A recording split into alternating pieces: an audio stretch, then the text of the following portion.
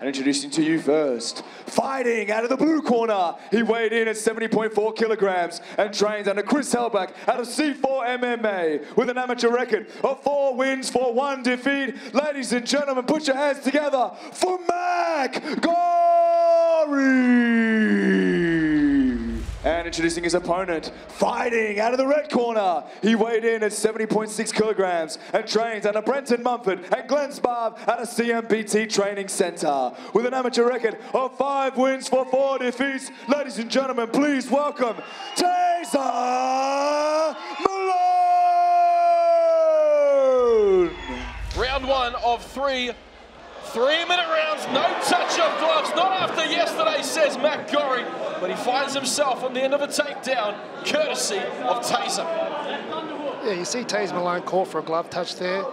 Uh, Mack obliged him in the, in, when they were staring each other down and ran out and decided not to touch gloves after all. The psychological warfare on full display here tonight. Also, I've been in this game for a long time. I've never seen anyone enter the cages as, as uh, Tasar entered the cage there by climbing over the cage instead of going through the gate. He's full of surprises as Tasar Malone. And he's got some new tricks up his sleeve using that shoulder bump to try and get rid of Matt Gorrie. He seems to be quite happy staying in half guard here and land some shots, land some shoulder strikes, trying to soften that body up early. Ever since he started training at CMBT, Kyle, it's almost like we've seen a new Tasar Malone. He was one of the original uh, members of Shindo New Breed under Kerry Dunn. He made the transition to CMBT. And rightly so, you can see Glenn Sparv alongside Darcy Vendy in his corner. Step that left foot over. The usurper himself. The usurper! Thank you, Kyle. Another name I like to say. Oh, absolutely.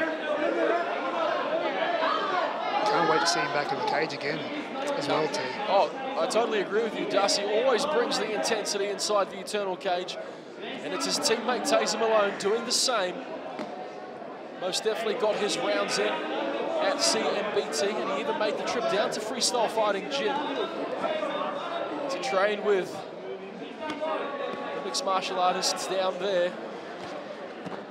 None more so the pound for pound king and Alex Volkanovski. Back to the action here. Tasar. It's all Tasar at this stage, Kyle.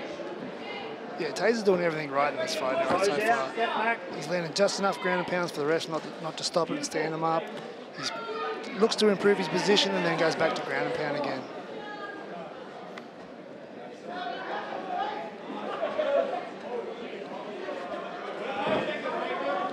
Could step over in the mount here too. Mack needs to be careful not, and, and not let, here he goes, Tasar steps over the mount. This is not a good position for Mack to be in right now. Right on cue, Kyle. The crowd starting to get behind Tasar here. And he's just being technically relentless. Is Tasar Malone, Matt Gorrie, struggling to gather any momentum here in round one. Something we don't see much often. Tasar stepping off mount back into half guard. Must have felt more comfortable being in half guard now. Well, he postures up for the final 10 seconds. And he'll keep Matt Gorrie where he started in round one. Signals us underway. Yeah, it's very intelligent by Tasar, though, not to get sucked into that game. Tasar looking to go straight back to where he finished round one and clinch up with him and try and get this fight to the ground. And if it ain't broke, don't fix it. the wrestling of Tasar Malone has proved to work wonders for him in his Tasar- career. Okay, great position from Tasar right now. He's able to take him down from that body lock position and almost straight back into half guard again. He could step, like once again, he could step over into mount at any point if he wants to, if he just clears that arm and steps up, but quite happy to sit back into half guard again.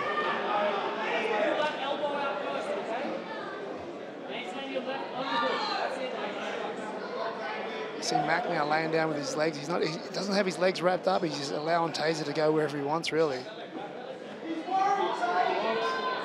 So we see Tasar in the full guard now of Mack. See if Mack can do anything submission-wise in this full guard. He's trying to isolate the arm and swing his hips out.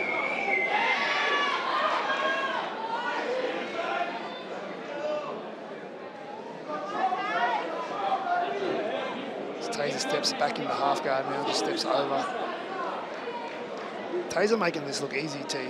Oh, he is indeed, and you got to give credit to the improvements that he's made. As I mentioned, that three-fight skid certainly got to him. He got back on the horse against Ryan Levy.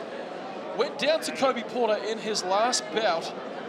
We'll see Kobe Porter later on tonight, but these improvements looking to bring dividends for Tasar as he takes the back now on Matt Gorrie. He almost had an arm triangle there, Kyle, but he decides to strike now. Yeah, he almost had a head arm choke, decided to give it up to, to almost take the back. And even now, he's still in a great position now. Dragging back to the ground. He has that arm trapped on the inside as well. It's going to some heavy ground and pound from here. Tasar Malone, absolutely ruthless. He's right in front of his corner now. Darcy Vendy, Glenn Sparv, giving him the word. Knees to the body now. Those some heavy shots that are going to pay dividends in this fight. He's three from three for takedowns. Is Malone. Tasar Malone just unloading now. He's looking for that rear naked choke. I think he's going to wrap that tight, team. He does indeed. Ladies and gentlemen, our referee in charge has called a stop to this fight at 2 minutes 27 seconds of round number 2, declaring your winner via submission due to a rear naked choke in the red corner, Tasar Malone.